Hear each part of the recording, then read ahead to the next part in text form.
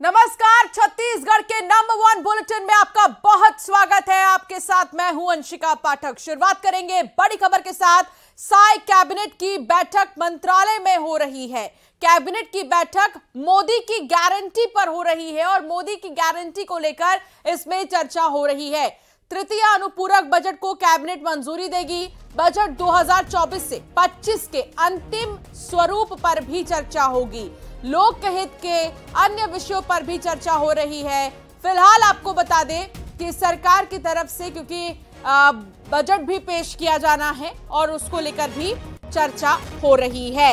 लेकिन जो मोदी की गारंटी है, वो प्राथमिकता के तौर पर देखा जा रहा है और ऐसे में मंत्रालय में साय कैबिनेट की बैठक हो रही है। कुछ ही देर बाद विस्तार से इस पर जानकारी भी साझा की जाएगी कि आखिर कैबिनेट में किन चीज़ों को लेकर चर्चा हुई, किन चीज़ों पर फैसला किया गया, लोकहित के अन्य विषयों पर भी इसमें चर्चा हो रही है। साय कैबिनेट की बैठक मंत्रालय में इस वक्त हो रही है।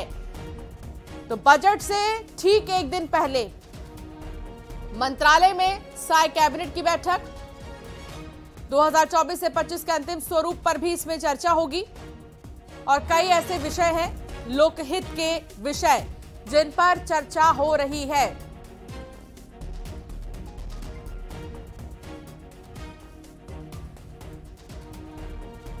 युगल तिवारी संवाददाता साथ जुड़ गए हैं। युगल बजट को लेकर चर्चा हो रही है।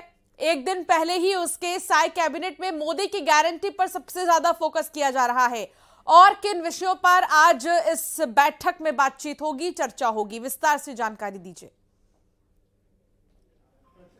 देखिए, अंशिका भी जो कैबिनेट की बैठक है, वो जारी है और हर बुधवार को साय कैबिनेट की बैठक है, वो होती है। तमाम मंत्री में भी इस बैठक में शामिल है, कैबिनेट की जो बैठक चल रही है उसमें। और सबसे बड़ी बात यह है कि मोदी की गारंटी है, उसको लेकर के पहली प्रायोरिटी, पहली प्राथमिकता के तौर पर सभी जो गारंटी है, उसे एक एक कर पूरा किया जा रहा है। इससे पहले भी जब पिछले बुधवार को साय कैबिनेट की बैठक हुई थी तो दो अहम निर्णय लिए गए थे। तो आज जिस तरह से बजट अभी होना है तो बजट को अंतिम स्वरूप देने पर चर्चा हो सकती है। तृतीय अनुपूरक बजट पर भी चर्चा हो सकती है। साथ ही साथ अभी हाल ही में एक बड़ा माओवादी हमला हुआ था तो माओवादियों को पीछे धकेलने के लिए जिस तरह से जो रणनीति है, वो बन सकती है, उस पर भी चर्चा हो सकती है। क्योंकि इससे पहले जब केंद्रीय गृह मंत्री जब आए थे तो एलडब्ल्यू की बैठक भी हुई थी, उसमें माओवादियों को पीछे धकेलने की बात कही गई थी। तो एक अहम निर्णय लिए जा सकते हैं। साथ ही अगर हम बात करें कि गैस सिलेंडर को लेकर के भी जो जो राहत देने की बात कही गई थी, उस पर भी चर्चा है, हो सकती हो सकती है। महतारी बंधन योजना का हर कोई यहाँ पर प्रतीक्षा कर रहा है। फ़िलहाल उसका बेसब्री से सभी को इंतज़ार है, हितग्राहियों को। तो कई अहम निर्णय लिए जा सकते हैं और फ़िलहाल कुछ देर बाद जब कैबिनेट मंत्री यहाँ पर आएँगे और ब्रीफिंग करेंगे तो फ़िलहाल पूरी जानकारी हो, सामने आएगी। लेकिन अभी जो बैठकों का दौर है, जारी है, कई अहम निर्णय लेने लेने की जो उम्मीद है, जो संभावना है, कयास है, वही लगाए जा रहे हैं। जी हंसिका ठीक है, बहुत शुक्रिया युगल, जानकारी साझा करने के लिए। तो मोदी की गारंटी प्राथमिकता के तौर पर देखी जा रही है और कई ऐसे विषय भी है जिन पर चर्चा हो रही है। आगे बढ़ेंगे, बात करेंगे पूर्व मंत्री पर। आईटी का छापा पड़ा है। दो तीन दिनों तक ये रेड चल सकती है। अलग अलग ठिकानों पर छापेमारी हो रही है। सौ से ज़्यादा अधिकारी जाँच कर रहे हैं। दस्तावेजों को खंगाल रही है आईटी की टीम। पूर्व मंत्री के यहाँ पर छापेमारी जारी है।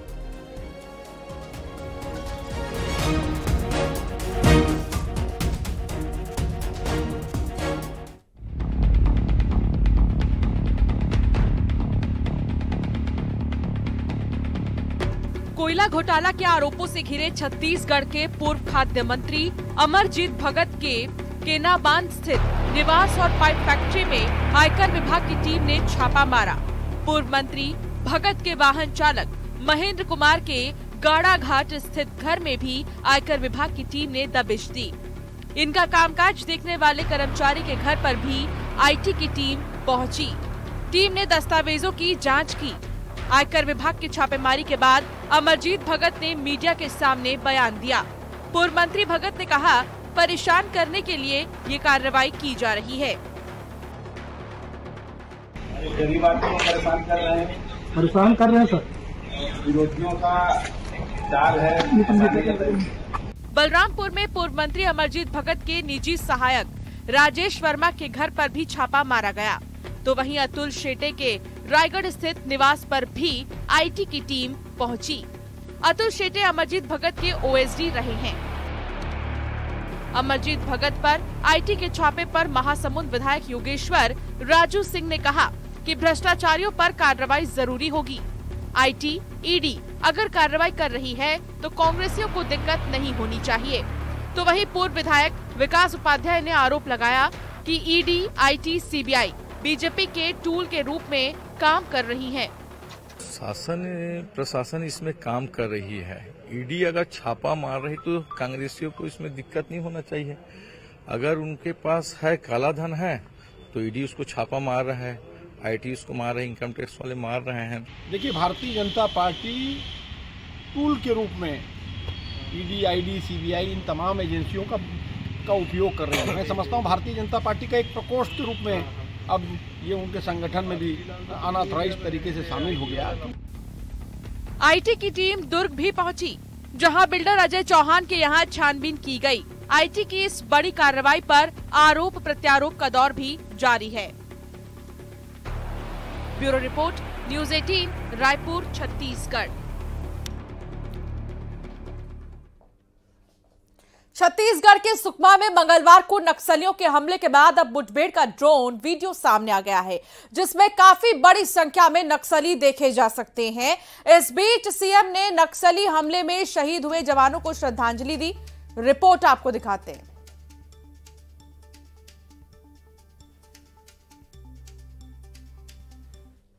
आईटी डिपार्ट की टीम लगातार छत्तीसगढ़ में कार्रवाई कर रही है। कुछ पूर्व मंत्री हैं कुछ पुलिस के अधिकारी हैं। इसके अलावा व्यापारिक प्रतिष्ठानों पर भी अभी तक जो करी, कार्रवाई है, दबिश है, वो जारी है।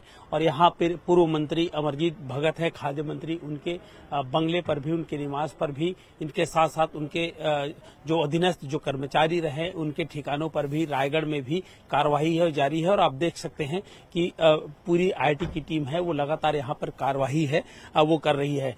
अगर हम छत्तीसगढ़ की बात करें तो छत्तीसगढ़ में लगभग 100 से अधिक कर्मचारी हैं, वो यहाँ पर आए हुए हैं आईटी डिपार्टमेंट के और अलग अलग ठिकानों में, प्रदेश के कई ठिकानों में लगातार कार्यवाही है और जारी है। ये भी जानकारी मिल रही है कि आईटी डिपार्टमेंट की जो कार्यवाही है, जो छापेमारी की कार्यवाही की जा रही है, वो लगभग दो से तीन दिनों तक चल सकती है। कैमरा पर्सन मनीष गीते के साथ युगल तिवारी, न्यूज़ एटीन रायपुर, छत्तीसगढ़।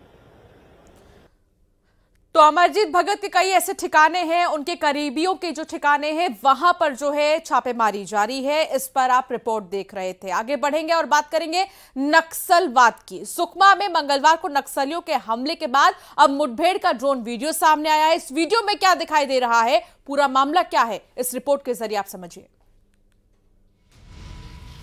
सुकमा में बीजापुर ज़िले के सरहद पर पुलिस और नक्सलियों के बीच हुई मुठभेड़ का ड्रोन वीडियो सामने आया है। वीडियो में नक्सली कमांडर हिड़मा की कंपनी नंबर वन के नक्सली जवानों को घेरने के लिए पोजीशन लेते देखे जा सकते हैं। कैंप पर और सर्चिंग कर रहे जवानों पर हिड़मा के इशारों पर 300 नक्सलियों ने हमला किया था। सुरक्षा बलों ने भी जवाबी कार्रवाई की, जिसमें छह नक्सली मारे गए थे। वीडियो में बड़ी संख्या में नक्सली दिखाई दे रहे हैं। इस बीच सीएम ने नक्सली हमले में शहीद हुए जवानों को श्रद्धांजलि दी। सीएम के साथ गृह मंत्री विजय शर्मा भी मौजूद रहे।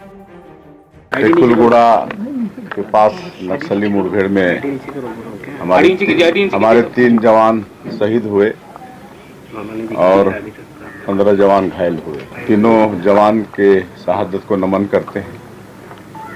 उनको श्रद्धांजलि देने भी आए हैं। और जब से डबल इंजन की सरकार बनी है, छत्तीसगढ़ में भारतीय जनता पार्टी की सरकार बनी है, नक्सलवाद के साथ लड़ाई मज़बूत हुई है, और इसका बौखलाहट नक्सलियों में है। टेकुलगुड़ा में कल ही सुरक्षा शिविर, सुरक्षा कैंप शुरू हुआ था, और अचानक हमारे जवानों के ऊपर में अटैक हुआ। लेकिन लगातार ये लड़ाई लड़ते रहेंगे। नक्सली हमले के बाद टेकलगुड़ा गाँव एक बार फिर से सुर्खियों में आया है। यहाँ 2021 में 22 जवान शहीद हुए थे। नक्सलियों के एक इस गढ़ में जवान कैंप लगाने की कोशिश कर रहे हैं। इस पर विजय शर्मा ने कहा कि टेकलगुड़ा एक ऐसी जगह है जहाँ जाना मुश्किल होता है। ये जवानों के लिए बहुत बड़ी जीत है। यहाँ जाना मुश्किल होता है, वहाँ कैंप लगाया जाता है। कल सुकमा के जवान शहीद हुए हैं। उनके चरणों को छूकर नमन करता हूँ। सरकार हर समय उनके परिवारों के साथ है। राज्य की सरकार और केंद्र की सरकार जो भी प्रावधान है, वो सभी पूरे करेंगे। जो कुछ हुआ है कल, उसमें हमारे जवान शहीद हुए हैं। उनके चरणों को छूकर नमन करता हूँ और सरकार हर समय उनके परिवार के साथ होगी। राज्य की सरकार और केंद्र की सरकार में जो कुछ प्रावधान है बहुत अच्छे प्रावधान हैं, वो सारे प्रावधान पूरे किए जाएँगे। परंतु कल की घटना का विषय ये है कि एक बड़ी जीत जवानों ने दर्ज की है। उस स्थान पर जहाँ कुछ भी जाना संभव नहीं था, वहाँ पर अब विकास का कैंप लग रहा है। चर्चा के लिए हर क्षण, हर पल तैयार है। किसी भी माध्यम से तैयार है। हमारे नौजवान अगर राह भटके हैं तो मुख्यधारा में लाने के लिए कभी भी बात की बात की जा सकती है। लेकिन समाज को बहुत दर्द हो चुका है। और न सहा जाए ऐसा समाज का कहना आपको बता दें कि कल सुकमा के टेकलगुड़ा में सुरक्षा बलों और नक्सलियों के बीच मुठभेड़ हुई थी, जिसमें तीन जवान शहीद हुए थे। शहीद हुए जवान आसाम, तमिलनाडु और मध्य प्रदेश के रहने वाले हैं। Bureau report, news 18 Raipur, Chhattisgarh. जैसे जैसे लोकसभा चुनाव की सुखबुगाहट तेज होती जा रही है छत्तीसगढ़ बीजेपी में टिकट के दावेदारों की फहरिस्त भी लंबी होती जा रही है। पार्टी के नए चेहरों को तरजीह देने की खबर ने कई दावेदारों की उम्मीदों को पंख लगा दिए। दूसरी तरफ़, प्रत्याशियों को लेकर मत्थापच्ची कर रही पार्टी के लिए एक कड़ी चुनौती भी है। छत्तीसगढ़ में लोकसभा चुनाव की सरगर्मी तेज है। खासकर सत्ताधारी पार्टी बीजेपी में उम्मीदवारों को लेकर मंथन चल रहा है। पार्टी सूत्र बता रहे हैं कि ज़्यादातर सांसदों के टिकट काटे जा सकते हैं और नए चेहरों को मौका दिया जा सकता है। नए चेहरों को मौका देने की खबर ने पार्टी में टिकट के दावेदारों में ऊर्जा का नया संचार भर दिया है। छत्तीसगढ़ में लोकसभा की 11 सीटें हैं। चुनाव में करीब 100 दिन का समय अभी बाकी है। लेकिन अभी से 40 दावेदारों के नाम सामने आ रहे हैं। जिसमें से कई दावेदार तो अपना बायोडाटा लेकर बड़े नेताओं के दरवाजे पर दस्तक भी देने लगे हैं। 2024 लोकसभा चुनाव में संगठन हमको जो भी ज़िम्मेदारी देती है, हम उसे पूरी निष्ठा से करते हैं और हमें पूरी उम्मीद है कि 2024 के लोकसभा चुनाव में माननीय मोदी जी के नेतृत्व में भाजपा की 400 सीटें आएँगी और हमारे देश के यशस्वी प्रधानमंत्री फिर से मोदी जी ही बनेंगे। और इस बार मुझे पूरी उम्मीद है कि छत्तीसगढ़ में जो 33 परसेंट आरक्षण देकर नारी बंधन किया गया है तो मुझे पूरी उम्मीद है कि छत्तीसगढ़ में तो कम से कम 33 परसेंट आरक्षण हम सब महिलाओं को मिलेगा। और छत्तीसगढ़ में भारतीय जनता पार्टी ने अपनी तैयारियाँ प्रारंभ कर दी है और उसके अभी हमारे कल क्षेत्रीय संगठन महामंत्री आदरणीय श्री अजय जाम्बाल जी, हमारे प्रदेश के संगठन के महामंत्री माननीय पवन साय जी ने बिलासपुर लोकसभा की बैठक भी ली और लगातार इस प्रकार की बैठकों का कम पूरे प्रदेश में जारी है। प्रत्याशियों का चयन और कब तक के टिकट की घोषणा हो जाएगी? कुछ समय सीमा समझ में यह केंद्रीय चुनाव समिति का विषय है। इस विषय पर वही हमारा केंद्रीय शीर्ष नेतृत्व तो ही इस विषय को अच्छे से बता सकेगा। वहीं इस बार महिला उम्मीदवारों को टिकट देने की खबर ने महिला दावेदारों की उम्मीदों को भी पंख लगा दी है। गौरतलब है कि पार्टी के कई नेताओं और मंत्रियों ने कहा कि बीजेपी लोकसभा चुनाव में 33 प्रतिशत महिलाओं को आरक्षण देने के नियम का पालन करेगी। लोकसभा ही नहीं, विधानसभा में भी देख। तैतीस परसेंट आरक्षण का लाभ मिला है। लागू नहीं हुआ है, लेकिन लोकसभा की बात है, निश्चित तौर पर महिलाओं को अब भारतीय जनता पार्टी आगे बढ़ा रही है तो महिलाओं को भी उसका बीजेपी में टिकट के लिए पूर्व सांसद, विधायक, मेयर से लेकर बूथ स्तर तक के कार्यकर्ता अपनी दावेदारी जताने के लगे हैं। हालाँकि टिकट पर फैसला केंद्रीय नेतृत्व को करना है, लेकिन स्थानीय नेताओं के सुझाव इसमें अहम भूमिका अदा करेंगे। यही वजह है कि ज़्यादातर दावेदार अपनी अपनी पहुँच के मुताबिक प्रदेश के आला नेताओं के दरवाजे खटखटाने लगे हैं। Umesh Maurya news eighteen Bilaspur. Raipur में भाजपा प्रवेश समिति की महत्वपूर्ण बैठक हुई। राष्ट्रीय मंत्री ओम प्रकाश धनखड़ की अध्यक्षता में यह बैठक हुई, जिसमें कांग्रेस पार्टी समेत अन्य पार्टियों के बड़े नेताओं के भाजपा में प्रवेश पर मंथन किया गया। बीजेपी नेता विमल चोपड़ा ने बताया कि जो भाजपा के सिद्धांतों से सहमत है, वो भाजपा में प्रवेश करना चाहते हैं, उनको लेकर प्रदेश और जिला स्तर पर प्रवेश समिति बनाई गई है। उधर कांग्रेस संचार विभाग प्रमुख सुशील आनंद शुक्ला ने प्रवेश समिति पर तंज कसा है और कहा है कि पहली बात तो यह है कि कांग्रेस का कोई बड़ा नेता बीजेपी में नहीं जाना चाहता। वो जानबूझकर ऐसी अफवाहें फैला रहे हैं। देखिए, ये राजनीति है और राजनीति में अपने कुंडे को बढ़ाने का काम हर पार्टी करती है। और हम ऐसे लोग को लेंगे जो भारतीय जनता पार्टी की नीति और सिद्धांतों से सहमत है। पूरी की पूरी कांग्रेस भी यदि हमारी नीति और सिद्धांतों से सहमत है और भाजपा में आना चाहती है तो हमको कोई आपत्ति नहीं तो ऐसे कांग्रेस समेत दूसरी पार्टियों के नेता संपर्क में हैं? लोकसभा से पहले ऐसा प्रवेश हो सकता है? जी जी बिल्कुल। बहुत सारे लोग जो हैं कांग्रेस के पदाधिकारी और नेता और दूसरी पार्टियों के नेता वो भारतीय जनता पार्टी में शीघ्र प्रवेश करेंगे। दो चीज़ें स्पष्ट कर दूँ। कि कांग्रेस का कोई भी नेता भारतीय जनता पार्टी में प्रवेश करने नहीं जा रहा है। दूसरी बात, भारतीय जनता पार्टी ने खुद इस बात की घोषणा की है कि ऐसे लोग जिन्होंने विधानसभा का चुनाव लड़ा था और कुछ मत हासिल किए हैं, उनसे हाथ पैर जोड़ के उनको भारतीय जनता पार्टी में शामिल किया जाएगा। और भारतीय जनता पार्टी ने इस दिशा में कार्रवाई भी किया है। छत्तीसगढ़ के कुछ लोगों को आम आदमी पार्टी और थर्ड फ्रंट के लोगों को इस्तीफा दिला के भारतीय जनता पार्टी में प्रवेश भी दिलाया।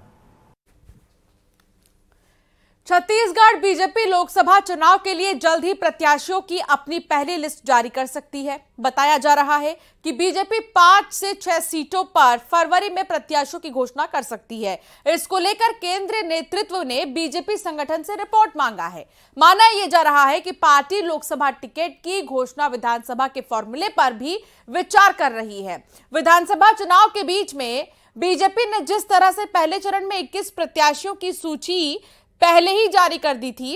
इसका सीधा फ़ायदा पार्टी को मिला था। अधिकांश प्रत्याशियों ने जीत हासिल की थी। ऐसे में लोकसभा में भी आधी सीटों पर पहले सूची जारी करने की तैयारी चल रही है, जिससे प्रत्याशियों को प्रचार के लिए भी अधिक समय मिल सके। तो बीजेपी का मिशन 11 छत्तीसगढ़ की 11 लोकसभा सीटों को लेकर रणनीति तैयार की गई है। रही है, क्लस्टर बन गया है। लोकसभा के प्रभारी सह प्रभारियों की नियुक्ति हो गई है और उसके लिए बैठकें प्रारंभ हो गई है।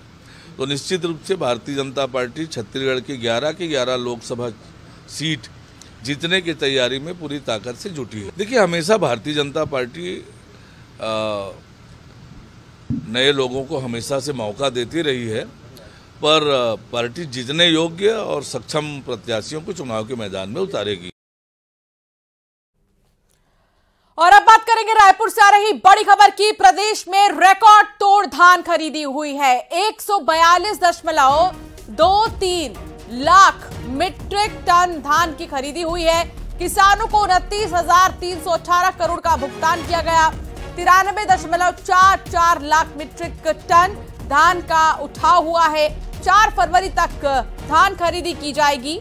शनिवार और रविवार को भी धान खरीदी होगी। इससे पहले इकतीस जनवरी अंतिम तारीख थी, लेकिन सरकार ने किसानों के लिए इस तारीख को आगे बढ़ा दी है और अब अंतिम तारीख चार फरवरी की है। प्रदेश में रिकॉर्ड धान खरीदी हुई है रिकॉर्ड तोड़ धान खरीदी हुई है। किसानों के चेहरे खिल रहे हैं। तारीख आगे बढ़ा दी गई है, अंतिम तारीख चार फरवरी की कर दी गई है, जिसके बाद किसानों में खुशी है कि जो लोग अपना धान नहीं बेच पाए थे अब वो आराम से बेच सकेंगे। लेकिन बावजूद इसके रिकॉर्ड तोड़ धान खरीदी इस बार हुई है।